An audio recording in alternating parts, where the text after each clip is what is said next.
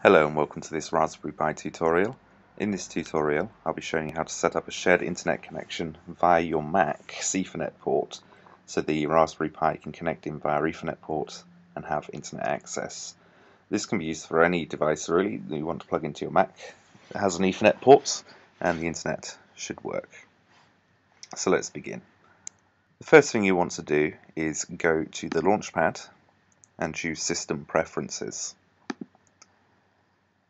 And inside System Preferences, you need to look for the folder called Sharing. Give that a click, and you're looking for the option Internet Sharing.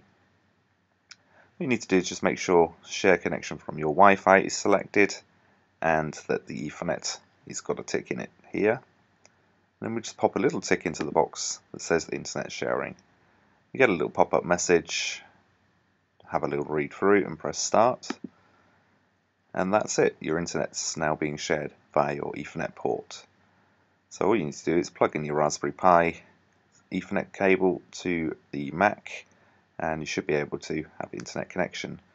I'll be using this for making the Raspberry Pi portable by adding an Ethernet port and a USB cable straight to the Mac so I won't need any other connections and I'll use a remote desktop which you'll see in later videos.